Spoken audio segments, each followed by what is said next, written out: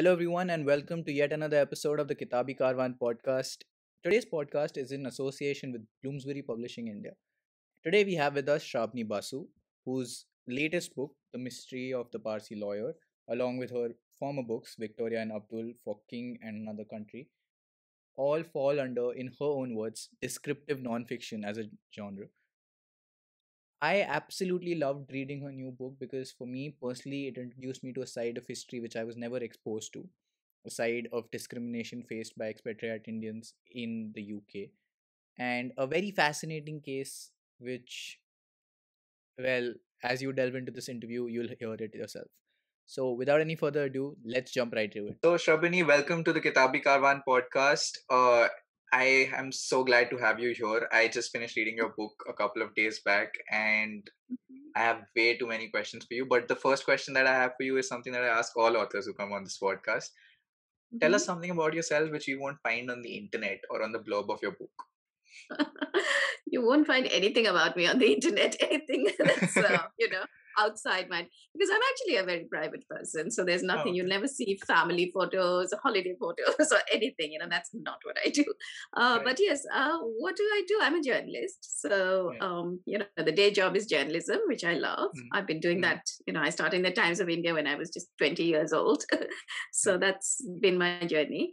Um, and uh, what do I do otherwise, apart from the journalism, is the writing the books. Apart from that, I just love, um, you know, I love gardening. uh, Mhm. so I spend a lot of time in the garden. I like growing my own vegetables. I like, I love pottering in the garden. It's it's very therapeutic, very relaxing, uh, and of course, you know, just being with friends, watching films. What else? Just like anybody else, really. Yeah. That's that's actually very fascinating to know because I find I always find it very interesting when I find people having private like I mean it's great that people have their own private lives, but the day and age we live in, like the modern era, Mhm. it's so fascinating for people. Like you mean you don't have family photos or this thing online, but that's a great choice that you've made in life. But Mhm. let me just jump towards your book. And Mm. the first question I need to ask you is how did you just how did you come across this? How did you decide to write about George Edalji? Because okay, uh till the point I read this book, I considered myself to be somewhat of a history buff, right? Someone who's read not not trying to brag here, but just I thought I w- I knew history or at least the major events that have happened in the world. I would have heard of them, and Mhm. surprisingly, this wasn't one of them. And the more I read your Mhm. book, the more angrier I got, not just at myself, but at like I don't know at in the way history is taught in India or how people are taught about Indian incidents, because this Mhm. has absolutely never come up. And No. yeah, so it just it's just quite like how did you come up with this or just what motivated you to write about this Mm. Well, you know, I've always, uh, as a journalist, I've always loved finding these hidden stories. Uh, Right. and I've lived half my life in India. I came to London when I was 25. I didn't know anything about any of these people in India. You know, I didn't even know that Indian soldiers were active in the Western Front in trenches, you know, that there were turbans in these trenches. It's just stuff I didn't know when I was studying in India. And believe me, I studied history. I did my master's in history. Um, so it's just that these things are missed, you know. And I had never heard of Inayat Khan, who I've written the biography of. Uh, my biography, is Spy Princess, which again, nobody knew about her when I was writing this book. Um, and now she's known all over. Uh, Victoria and Abdul, another book where you know nobody had heard. It was a story that had been erased from history, and I brought this man up, you know, Abdul Karim, and now he's uh, you know he's now in a film and he's smiling down he was uh, from leicester square looking at everybody so that that was all fun so this is my passion i love bringing out these hidden characters who've been forgotten in history but who played a very important role at some point. And so you know in my sort of uh, let's say filing cabinet of interesting characters i had george edalji filed away a long time back because what is more fascinating than arthur conan doyle? You know, investigating the only case that he ever personally investigates is to do with an Indian. I mean, you know, that was like my radar was like, oh my goodness.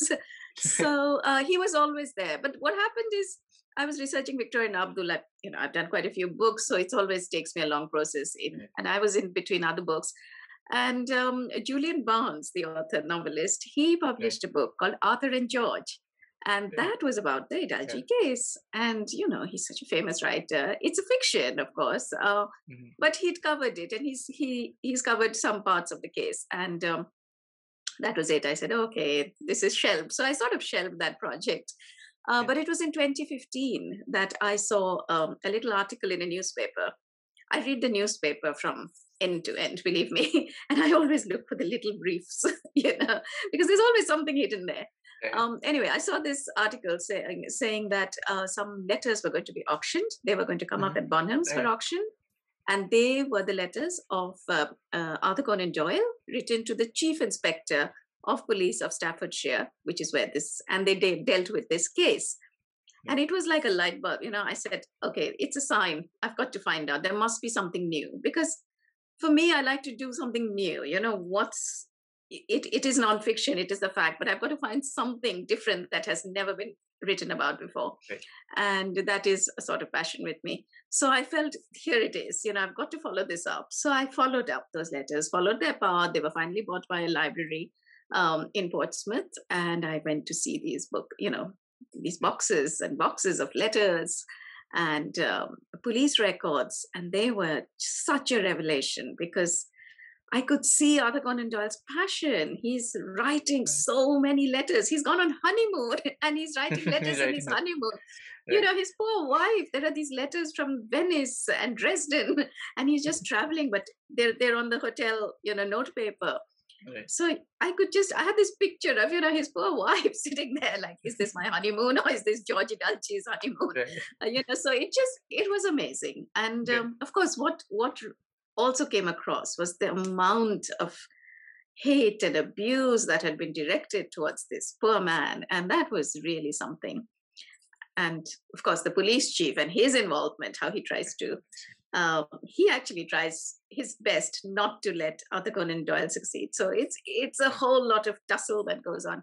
Um, and of course, that then set me on the trail. So then I went to all the other places and collated all the material.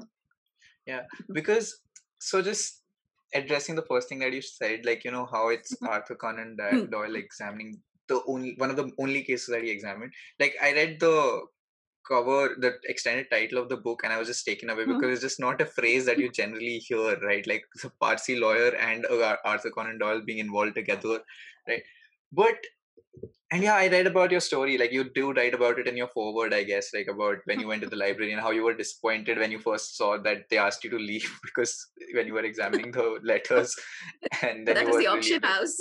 right They- so uh, yeah.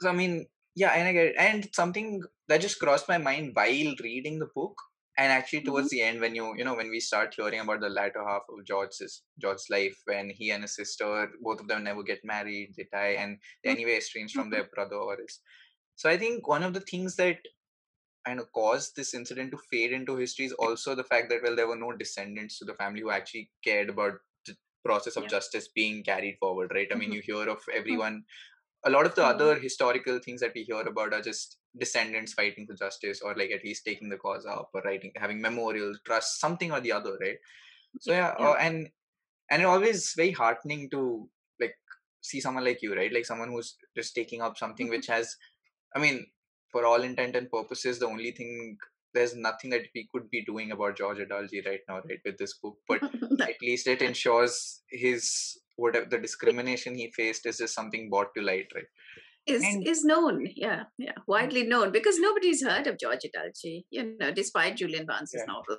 or whatever. It's Yeah. it's it's something that most people say, "What? You know, Arthur Conan Doyle investigated this man's case. We've Right. never heard of him," and that Right. is, uh, you know, it's quite So- something. Yeah.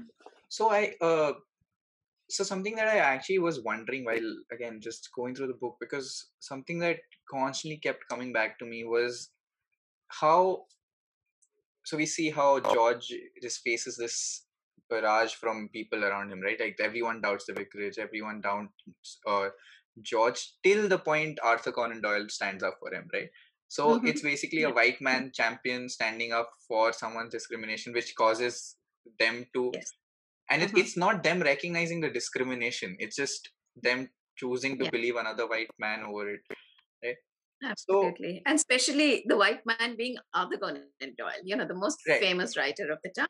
So I Right. think that made a huge difference. Hmm. Right, and and I'm sure like if say was someone like say Jerome K. Jerome, right?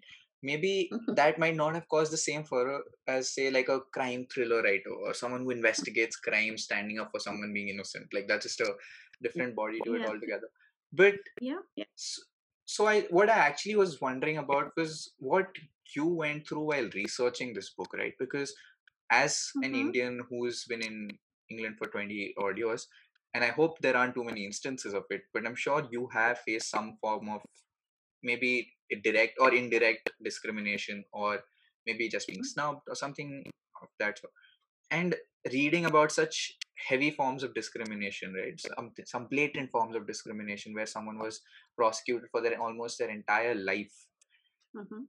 How does an author or like a journalist process their feelings in this situa- situation? Because I can imagine this is very heavy or very I don't know something takes a toll on you to process mentally and physically or emotionally for that matter.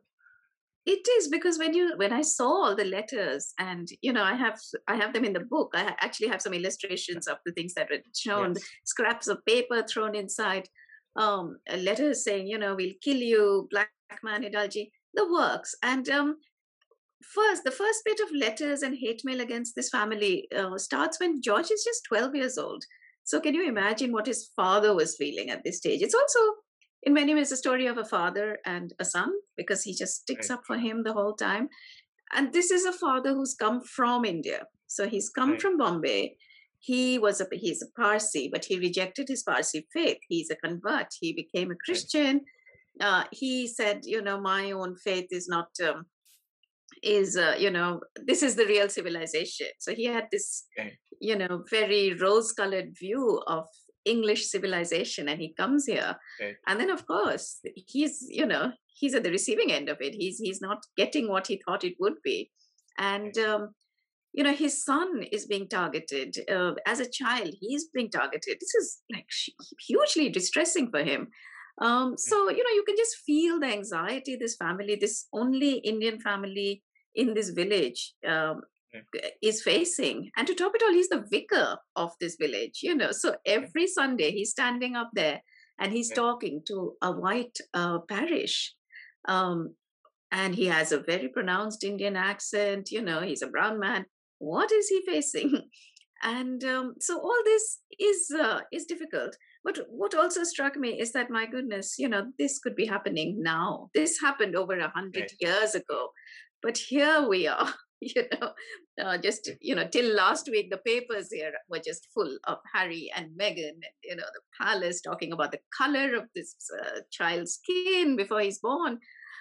So it just you know it brought that whole race debate once again right in the heart and center of british politics. And um, Right. we had black lives matter last year. You know in the lockdowns there's been so much churning that's gone on.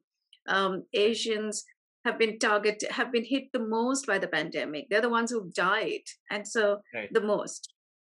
So you you know it just makes you think what happened? You know what's happened in this country? Why did nothing change? Why is there so much trolling of anyone who stands up and questions the system? You know you don't get these Yeah. anonymous letters anymore but you have trolling. You have you have Yeah, you hate have- mail in so many ways. So um, and again it's not just england. I mean it's happening all over the world. So you know this sort of hatred of the foreigner immigrants keep immigrants away build walls. We saw what happened in the us you know it's just um, it's a global madness. thing. Exactly. So for me it was also the fact that this is so relevant you know police Right. planting evidence police um, miscarriages of justice everything still happens. Right. uh, you know this happened to george over a hundred years ago but uh, you know here we are and we're still seeing this so that made it really relevant for me and you know put it somewhere in the present day as well So I'm I'm quite curious because and here this is somewhat not related to your book, but rather Mhm. just the idea of Mhm. discrimination in general, right? Because Mhm. the more I think about it, always just boils down to this idea of othering, right? And it Mhm. might it's not just limited to race in that sense, right? In India, No, no. caste is a huge Yeah, problem. caste, Gender, gender religion discrimination, right? Se- based on sexuality on and loads of other things. And it's always trying to just draw this differentiation right? It's not me it's this other person who's doing something Mm, mm, right? mhm. and as you said it's a global issue. It's not just that it's just india or uk or some other countries who do it. Mm, and i know like do you have like have you ever thought about why why is it that we as humans have this tendency or this i know innate psychological need to you know draw differences rather than a, Mm. you know embrace homogeneity or like like rather see ourselves for what is in common between us rather than the differences Yeah, I think it's insecurity. It's always insecurity. I mean, you know, people who want to attack others saying, you know, you're taking my jobs or who do you think you are?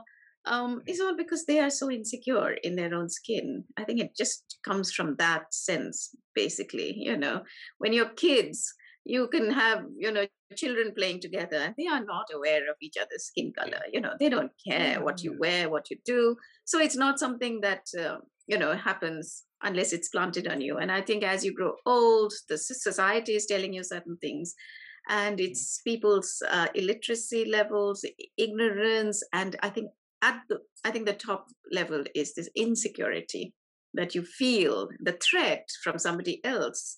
You know, the immigrant, the foreigner. Uh, a black person asserting his rights, you feel threatened. You know, why are you saying this? So the, the constant refrain will be, we are not a racist country. Uh, well, of course, everybody isn't racist, and it's also very important, you know, Siddharth, at this point, you know, this is very dark, but it's also very important to remember that not everyone is, and there are equal number of people fighting very hard, even whatever issues they are, women, uh, women's issues, or you know, not just gender, but um, race. There, Mhm. George Edalji himself. It wasn't Mhm. just Arthur Conan Doyle. There was a petition for him signed by 10,000 people. They were all white. They were lawyers, they were doctors, they were his school teach, you know, people who went to school with him, people who knew him, or people who didn't know him at all and who just felt injustice has been done. So 10,000 people, and we're talking, you know, that's a lot of signatures for way back in the day to Right. mobilize. Uh, so there were always people, there are always those who will pull you down, there are always those who support you. So, you know, that is something that you have to always remember. They're not, it's not all black and white, you know, that it, it's it's great that you point this out because i also thought about this while reading the book that as someone who's studied about the uk as an outsider right like as an indian student studying about the uk Mhm. or particularly because of our history of the freedom struggle and everything Yeah. we are always we always tend to perceive early 9 20th century england as a very racist uh, place due to Mhm. because most of the incidents that we are often taught or just told about Mhm. are incidents of race violence or race discrimination and Mhm. That that is a dissonance i noticed while reading the book right? Like my inherent bias trying to tell me wait this doesn't seem right. I mean how did he manage so much support in a racist country? And then what you said actually made absolute sense it's Mhm. always it's never black and white. There are always uh yeah, yeah. people there. But and yeah like it just very fascinating like so again if i can just draw back to your research right? How did Mm. you uh like uh what were your what were the sources beyond the letters or the publicly available sources that you Mhm. referred to because Mhm. uh what really got me uh, got me about your book was the fact that uh you managed to capture a lot of the at least from what my perspective, a lot of the thought process behind characters puppet say negative sides, right? Like say the police officer Anson's uh, way of looking at George Edalji or the way uh, there were Mm. certain evidence was uh, regarded by him. So I mean, I find it very difficult to believe that you know just letters that will kind of give you that insight. Like, what was the ne- the step beyond that which you took? Yes, of course. No, it's not just the letters. The letters were just the starting point. Um, after that, I go to um, I went to the National Archives in Kew, uh, which Mm. has the Home Office files. So I looked at all the Home Office files in the case, which also have the police records, um, Mhm. the account of the trial. Um, then I went to Staffordshire. So there were four archives which had records: uh, Birmingham, Staffordshire, Kew, which is the National Archives, and uh, Portsmouth. So between four libraries, I looked at Home Office papers, I looked at letters, I looked at um, newspaper reports. I Okay.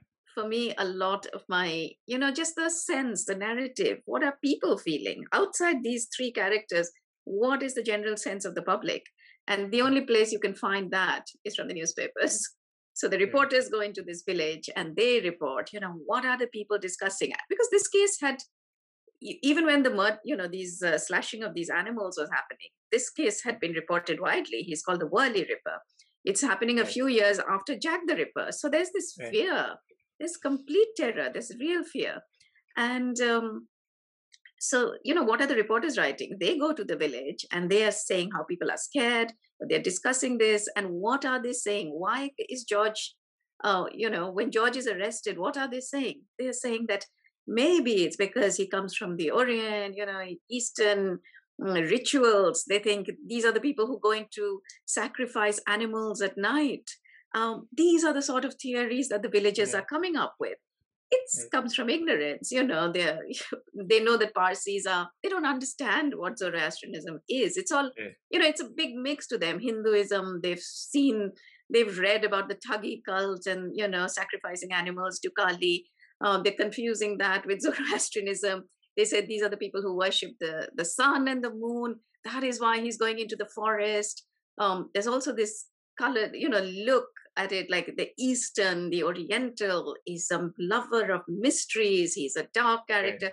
This is fuel through the literature. You know, it's like a Kipling vision of the thing. It's through the histories Right. they see. You know, so everything comes together, and there is this this image of this Indian who is, you know, who does these dark, mysterious things, you know, um, Right. and uh, that is, and all that sense of what, because obviously I wasn't there a hundred years ago. How else do I know what these villagers were thinking? Is through all these, you know, the newspaper reports.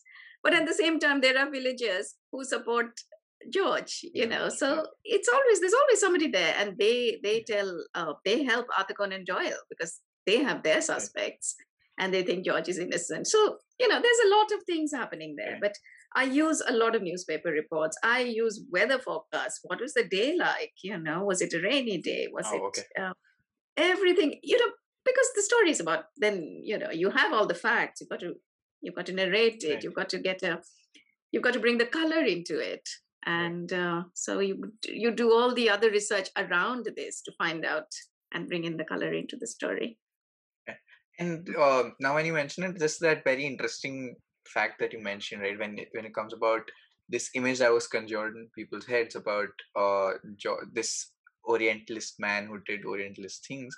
Uh, because when you were st- uh, started talking about Arthur Conan Doyle in your book, also you mentioned that his books, which mention India, are also quite. I mean, if not a blatantly ra- racist, but maybe there is this form of ignorance on right about how India is being depicted, and oh and I guess Totally. yeah, it's like temple of doom indiana jones version you know yes yeah, yeah, the exactly. Exactly. very much that but these are adventure stories i mean you know i don't Right. get a hoot about um, the depiction of Right. you know it's horrible but these are stories they're just a bit of fun but yes i mean he he does write with that vision Right. um uh, right of no but i uh, guess uh, sorry i guess uh, that's that's the thing right that's the burden of literature i guess in that sense because arthur conan doyle was one of the most popular writers back then so yes. for a lot of people who've never been to india or are haven't been exposed to say a you know Mhm. let's say a proper version of india for them this was it this was what india was right like whatever Absolutely. they read or read or see or you know hear. Yeah. and uh, and i must commend you for your uh, for the color that you've added to your books i had absolutely no idea that you even looked at weath- like historical weather forecasts because um like that's something that I was left wondering at the end because it's one of the only non-fiction that I've read which reads uh, just like of just reads like fiction. So it's just quite uh, fascinating in that. but uh, coming back to our conversation, so I'll just divert a bit from the book Yeah. and sure come to you as a person, right? So something Mm. that I've always noticed, like almost all authors, whether they write fiction or non-fiction, are voracious readers, right? And I'm sure that you are as well, like looking at the bookshelf behind you as well. So, so tell me about that. Tell me about your reading journey. Like, did you read a lot as a kid, or would I know how did you start reading? What did you like to read? Uh, we were voracious readers. My sister and I, we just read and read and read. And every Saturday, my father would take us to a bookshop. That was our treat. and he would buy us a book. Um, so, yes, we just read. And over the holidays, I used to tell my school library, you know, I need more books, not just the six that I can take or whatever, because I, am also a fast reader. So mm-hmm. it was like that. In, I grew up in Delhi as well, and we used to have the apart from my books in the house, we had this Delhi Public Library. I don't know if it exists anymore. Uh, but right. the whole summer holiday, I would go there twice because I'd finish reading the book by evening and I had to go and return it back and get it. I think I read every book over these long, boring, you know, we didn't have TV, we had nothing else to do. So I think right. that's why we just read and read and read. I read everything. I read from the classic. I mean, as a child, obviously, I read Enid Blyton and did all those. Uh, then I read the mm-hmm. classics, you know, the Austen Dickens, the whole gamut. Right. And I, I also loved um, you know, Cold War thrillers, John Le Carre, Frederick Forsyth. Those were, you know, I those are things that I enjoyed as well. So it was just a variety of things. I would literally take in all. And as I grew a little older, you know, I, I loved the Russian classics. I just loved Tolstoy. Mm. I love reading Chekhov's plays because they just transport you. And what I loved is because I've always been a history buff as well. So, right. you know, the, the backgrounds, I love a big novel which is set in a big historical background with something happening, you know, uh, right. uh, Victor Hugo, those books like that just, uh, you know, they just absorb you for hours and hours. And I love them. So that's, that's really been the journey. Yeah. Right. So I know it's a very sinful question to ask, and people should be condemned to hell for this, but I'll ask it anyway if I ask you to name mm-hmm. five books that you really like, your say your uh, top five books that I have to pick. I know it's mm-hmm. very difficult because people I've been got I've gotten a lot of hate for this from my friends and from authors who have asked this question too, but it's something I think I have to ask anyway. Well, five is really hard, but uh, okay. So I'll put my Russian classics out there. I'll put Anna Karenina.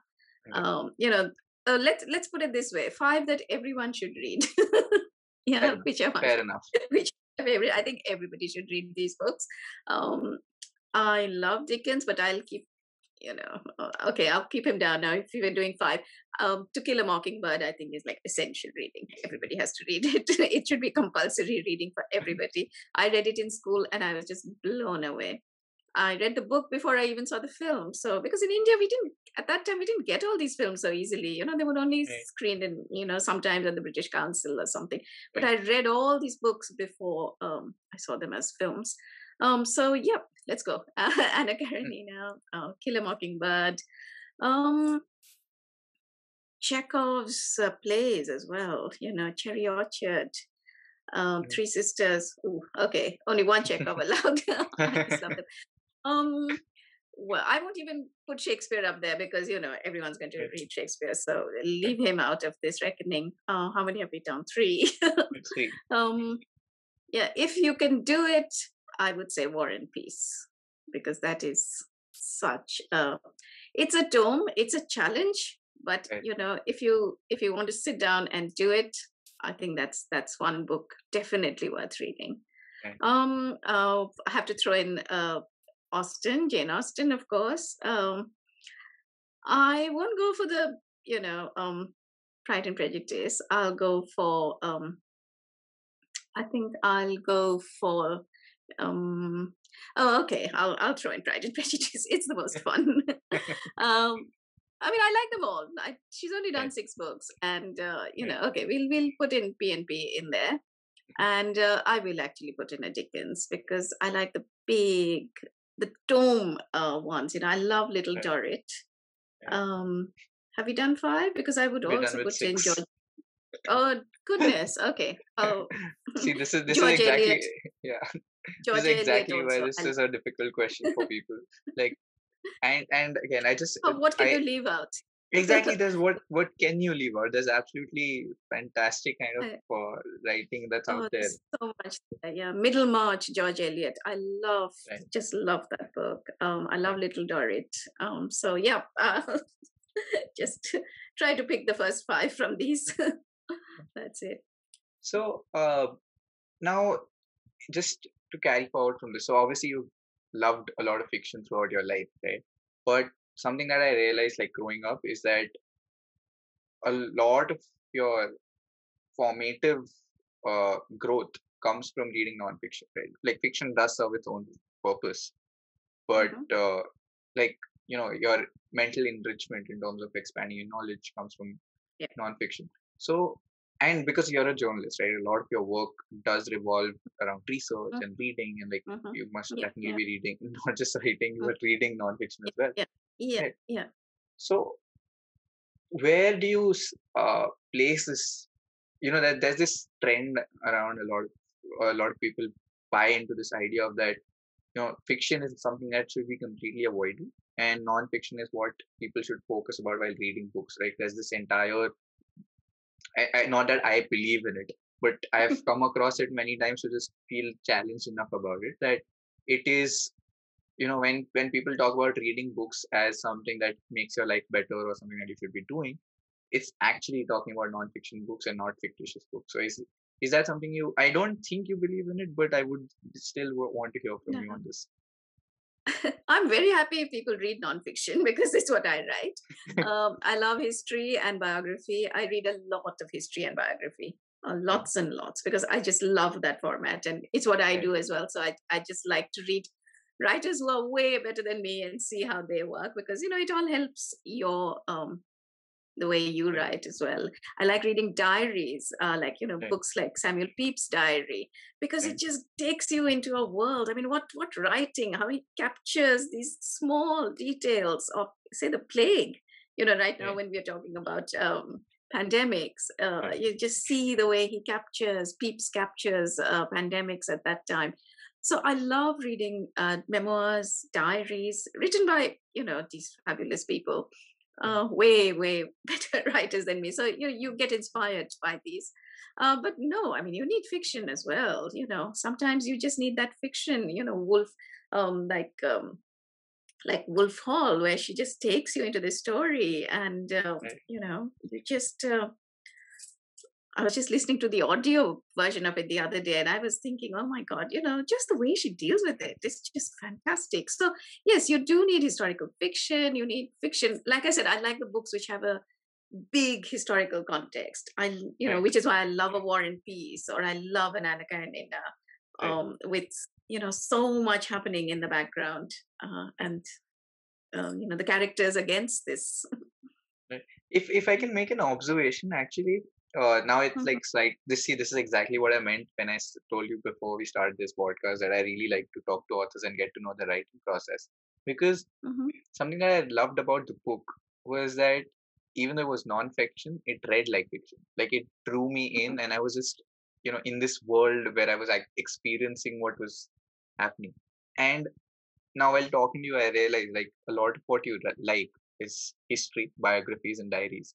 Three things that you mentioned, which are the closest form of between fiction and non-fiction, right? Like you're reading history or a biography is essentially like reading a story, reading a uh, mm-hmm. reading a work of fiction. And Yeah. I think in a very good way that reflects in your books, right? In your mm-hmm. writing style. And I think that is a very commendable thing because often non-fiction becomes drab and you know it's rare to find a non-fiction which is described as you know something unput down you can't put it down at all but Mm. so yeah Well, uh, thank you. Very kind. I think they have a new word for it. It's called narrative non-fiction now. That's the sort of genre. non-fiction So, i- if you read my book, um, you know, one of my best known books so far, Victoria and Abdul, because it got Yeah. made into a film, Yeah. Um, that is just that. It's like it's based on letters and it's based on documents and it's based on people fighting in memos to each other. But, you know, you can just bring that out because, uh, you know, I have vivid accounts. I'm lucky that way because the the English were, you know, and the Scots, well, the British, they were really good at keeping records. So, and they wrote right. vivid diaries. So I can just mine their diaries for my drama and my material because there's a scene in Victoria and Abdul where, you know, they say, we're going to go on strike if you take Abdul to Europe with you. And the staff sort of, you know, combine, the household, uh, they combine and they come and tell Victoria. And she just flies into a rage and she throws everything from the table down and you know just has a real temper tantrum. And this scene is described vividly in her doctor's journals. So um you know that you know mrs phipps went and then threw in everything that fell crashing down from her Right. desk, you know, ink bottles, pens, pencils, photo frames. I had this whole image, you know, I could see it before me just from his diary. And so, of course, I helped myself to, you know, his records. And I went and stayed, um, eh, I spent a week uh, with the doctor's descendants and I read all his journals, all his, uh, they're Wow. up in Scotland. And um, that's a huge part of the source material for Victoria and Abdul. So that's what I do. You know, I, I draw on these sources uh, that bring a lot of color and newspaper reports, always newspaper reports. I say that as a journalist. Mm. but so Shrabani, how does it feel to have like something that you poured your heart and soul into being turned not just into a book, like obviously you were putting it out there, but Victoria and Abdul turned into a movie. Like it's not Mhm. something that happens every day, right? It's not something that happens to everyone. And I'm sure it's like a I mean it must be a unique feeling, I guess. Right? It was. It was fantastic. And for me, like we got a lot of offers because all it just excited a lot of Hollywood studios. So there were like six top people bidding, pitching it to me instead of me, you know, author that nobody knows, pitching Right. my work. I had top studios pitching to me, and I'm sitting on the other side, which was really, you know, it was uh, a good moment. Uh, but of course, I think it was for me the most exciting thing was the scale at which it was done because it was Universal Studios, you know, these big guys, big Hollywood budgets, big, big historical drama with big costumes, nothing tacky, you know, just reproduced beautifully down to the last detail. Um, excellent director Stephen Frears, you know, he made The Queen, he made, you know, just fabulous. I love his work. Um, and um, Judi Dench, you know, as Victoria. I mean, you can't ask for more. It was a dream team. So yes, Right. I lived my Hollywood dream for a you know life for a few months, and it was fun. and then back to back to being a writer. you know, So, so just just my last couple of questions before I wrap this up. Uh, how's how's the pandemic for you? Like, I mean, did it? Uh, I mean, I know you started researching for this book back in 2015, 16, but Mhm, um, mhm. as, assuming that it a lot of it was done during the lockdowns. Mhm. Well, the last edits. So Right. you know the final, the final bits, which are also the, the most important. You know, you Right. tweak this, you tweak that. You said this chapter doesn't work here. Stick it at the back. Get rid of this. So that bit of uh, rewriting, the last bit of rewriting and editing, uh, when you're consulting with your editor as well, that happened during the pandemic. So Right. it was a year of doing that, and then checking the proofs. You know, all the little details when you do nonfiction, you know, by the end of it, you're crying because footnotes are going to drive you mad. It takes over a month to just, you know, put down the details of the footnotes. And every time I finish a book, I say, um, this is it. I'm not doing this again. and of course, then I go and do it again. Uh, but it is, it just kills you, you know, the details of the references, because I have so many references, you know, every little, all that is tedious work. All that was done during the pandemic at the same time as my day job is covering it. So I was covering the pandemic and writing about it, you know, just head full of vaccines and people dying and as well as doing this. So um yeah, it was everyone was very overworked. I was during the pandemic. Still am. Well, that, that's Yeah. quite understandable. But uh, Mm. just just to just my parting question for you, which uh, I- you sort of answered by saying that when you finish the book, you're just like never again. But now that the book's out, what's next on the table? Do you already have a book brewing? Do you have an incident in mind to write about? Uh, no, I think the last year has been so draining. It's just been, you know, it's just killed everybody. you know, people think that we are sitting at home and it's not. It's really stressful, you know, not being able to just step out and do something because uh, you can't and you you are confined at home. I think in Britain we've been in lockdown forever. It's like I think we've been locked down from October. It's just crazy. Uh, half the years, uh, you know, we came out for a bit in July, August, and then we went back. So this is the you know third wave uh, it's just go, going on and on. We'll finally be let out in May. So it's been very draining. So I need a little time just to relax, just to, No, you know, take a flight, go to India, spend some time. I haven't seen my mother. So yeah, you know, it's been a year since I've seen her, over a year now. So I just want to do a few things that I haven't done for a year. And then, you know, something will crop up again. and uh, I'll get back. But right now I'm going to after this, just rest for a bit, just do some other things. no, honestly, like after this book, uh, I'm sure this book was draining on all counts, and but no pressures. I'm actually really looking forward to your next book whenever it comes out. Whenever you have, uh, when you come out of lockdown, you've done your trip to India, and you come up with your new idea. But uh, Mm. thank you so much for joining us. This was really wonderful. I genuinely enjoyed our conversation. And uh, I really look forward to talking to you soon when your next book comes out or just without. I take a long time to write a book, so it'll be four five years before another comes out. But thank you. It's been lovely chatting with you. And um, yeah, technology working. I hope it all comes out well. So thank you. Thank you for tuning in. If you enjoyed this episode, do subscribe to our podcast or to our YouTube channel, and you can check us out on Instagram at the rate Kitabi Karwan, where we keep putting up other bookish content. Also, do write to us with any feedback or comments you have. Thank you.